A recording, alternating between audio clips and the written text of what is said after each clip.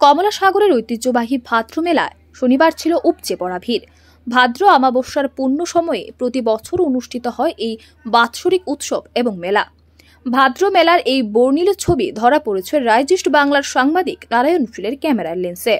দেবী মার আশীর্বাদ নিতে মেলায় হাজির ছিলেন রাজ্যের দূর দূরান্ত থেকে আগত প্রচুর পূর্ণারথী। মেলায় বসেছে রকমারি খাবারের স্টল থেকে বিভিন্ন দোকান এবং হরেক আনন্দের আয়োজন। ভাদ্র মেলা নিয়ে মন্দিরের প্রধান পুরোহিত জানান, প্রতি বছর সরকারি সহায়তা এবং মেলা কমিটির সাহায্যে এই মেলা আয়োজিত হয়, বছরে তিনবার। ভাদ্র অমাবস্যার এই মেলা ভাদ্র মেলা নামে পরিচিত বলে জানান তিনি। আমার নাম রাহুল চক্রবর্তী নাম চক্রবর্তী। আমরা এই মন্দিরে এই যে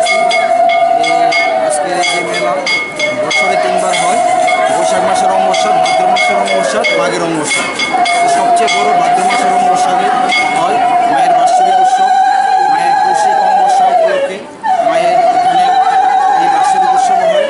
এই উৎসবের সরকারিভাবে সাংস্কৃতিক প্রোগ্রাম এবং সোসাইটি কমিটির থেকে উদ্যোগ নিয়ে খুব জাঁকজমকভাবে উৎসব পালন করা হয় এবং এই উৎসবের মধ্যে বহু দূর দূরান্ত থেকে প্রচুর দর্শনার্থী মায়ের কাছে পুজো দিতে আসে।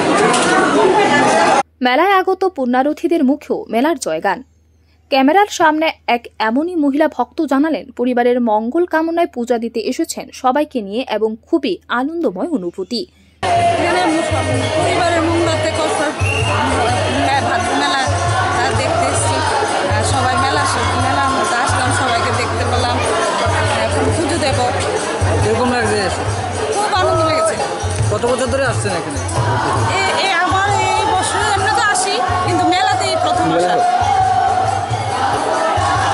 মেলাকে সফল করে তুলতে মেলা কমিটির যথেষ্ট যোগদান রয়েছে। মেলা কমিটির কার্যকর্তারা জানান, শনিবার সারাদিন ধরে মেলা চলবে এবং বহু দূর দূরান্ত থেকে মেলায় হাজির হয়েছেন পুণ্যারথীরা নমস্কার।